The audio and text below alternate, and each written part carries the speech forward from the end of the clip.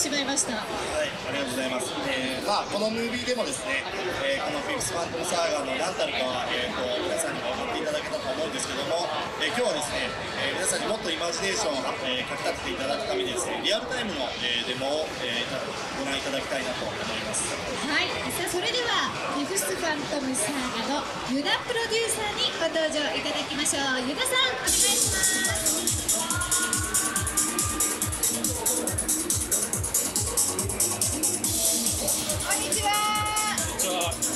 しくお願いしますそれではエアコンデモデモ映像をご覧くださ。い、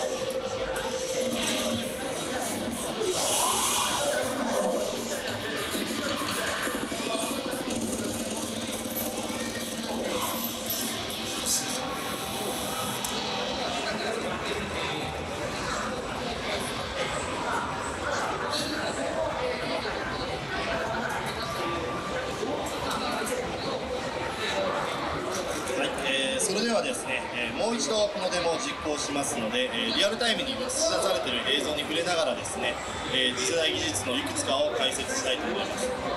えこのゲームではですね次世代ならではのシェーダー表現によってですねさまざまな効果を演出しています、え例えばですねこの青く光るエネルギータイプなどはですねセルフイルミネーションとエフェクトシェーダーの組み合わせで空間を歪ませながら流れています、えそしてですね、え空に流れる雲もですねプログラムによって描画していますので同じ形の雲が並ぶようなことはありません。そしてですね次世代機では、えーポリゴンのテクスチャーにですねさまざまな情報を持たせることでハイクオリティなモデルも、えー表示できるようになりました、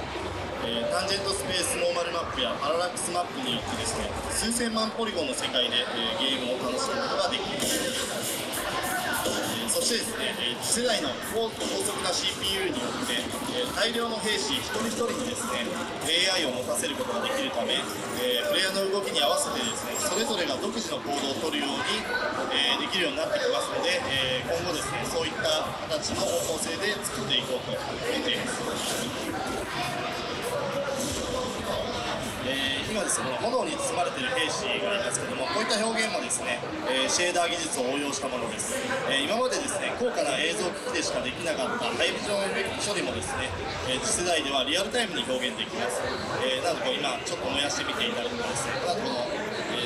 こういう表現がこれエーテルっていうんですけども、このゲームの世界で、えー設定されてるエーテルという技術があるんですが、そういった表現ですとか、えーこういうふうにブラーの評価効果とかですね、えーまあ、このようにですね、画面に映ったキャラクターたちにですね、さまざまなエフェクト効果をかけていくことができます。